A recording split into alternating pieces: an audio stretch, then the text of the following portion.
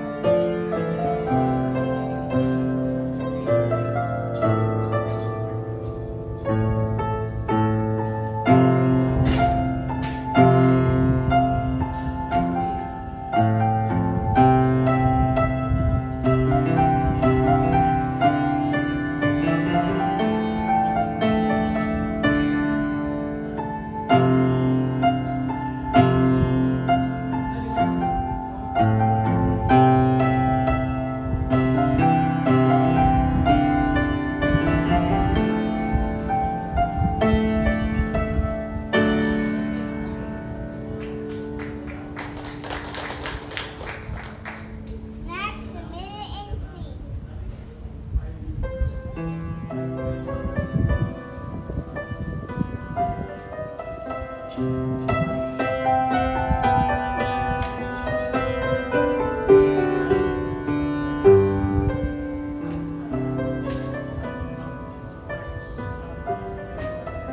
you